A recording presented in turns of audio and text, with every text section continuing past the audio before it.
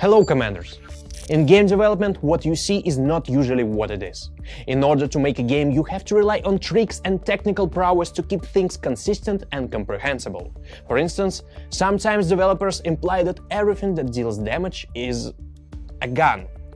But we'll get to that. In this video, we'll dive into the nitty-gritty of robot creation. Come on, join me, but be careful.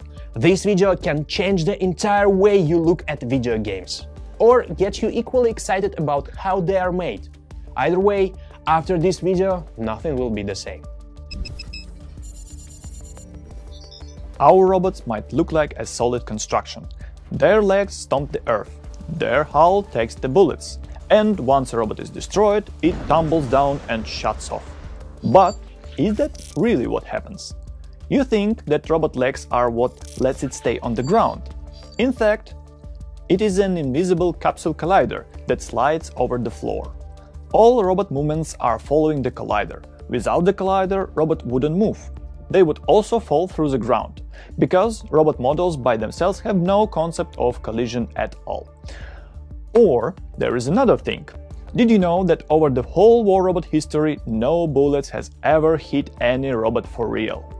Yes, Projectiles, in fact, interact with another invisible collider, which is usually spherical. If any enemy bullets hit this collider, then the robot receives damage. And finally, here is what happens when the robot goes down. A destroyed robot just disappears and immediately gets replaced with a shadow clone, uh, I mean with a decoy. It looks like a robot, but instead of hundreds of building components, a decoy just uses a couple of colliders which allow it not to fall through the ground. Switching a destroyed robot for a simplified decoy saves lots of your device's resources.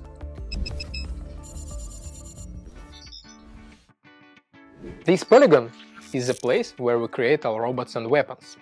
We got everything we need here. Here we have pedestals with enemy robot dummies.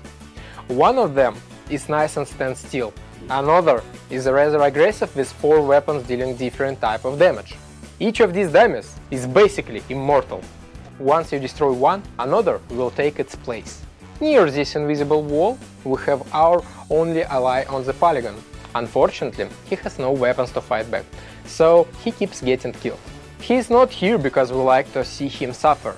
This robot always comes back to life, so we could test support mechanics like shields or repairs. The meter, for instance, can target this ally and teleport to him. We got these lovely slopes to test how our robots deal with obstacles.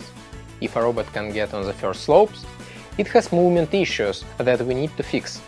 If it manages to climb the last one, then it is way too maneuverable for a real match. This Jaeger constantly moves around the calibration mounts. It comes in super useful when we need to test anything that is affected by enemy movement. Sometimes we need to test our weapons on something that has shields. So here we have shielded robots. On Polygon's floor we have markup that help us test movement abilities. Every robot that can jump, dash or fly goes through multiple movement tests here. On the Polygon we follow one key rule. There are no rules. We can put any weapon or module on any robot. Shoots with alpha weapon? Sure, jumping carter with one light weapon? Why not? All these tools help us prototype and test new robots fast and safely, and no one gets hurt.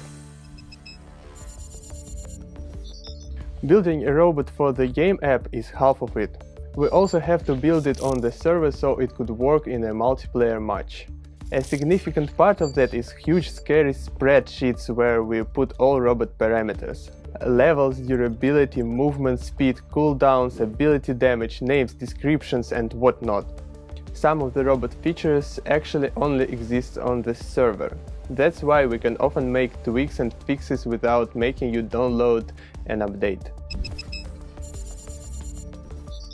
Everything that deals damage in war robots is technically a gun. Even if the robot's ability doesn't involve shooting, it's still coded as a weapon to keep things consistent on the back end. For example, Hellburner had three invisible built-in guns. One goes off whenever the ability is used. It shoots with an explosion and damages surrounding enemies. Another weapon triggers once Hellburner is destroyed. It has the same effect with different damage. And finally, there was a weapon that shot Hellburner itself whenever the first one went off, so the explosion damaged not only enemies but the Hellburner as well. We disabled that one not so long ago though. Another notable example would be the abilities of Mender and other area support bots. They have built-in weapons that set off explosions, but deal a special damage type that affects only allies, effectively repairing them instead. On the other hand, weapons on Hawk, Jaeger or say Hades are physical objects. They have their own visible models uh, that are connected to robots. That allows us to use these weapons to create weird skirmishes, like the one where you could play Behemoth with four Hawk weapons. That's it for now. What topics you'd like us to cover next? Let us know in the comments and check out other DevTales videos. You can find the links in the description. See you on the battlefield, Commanders!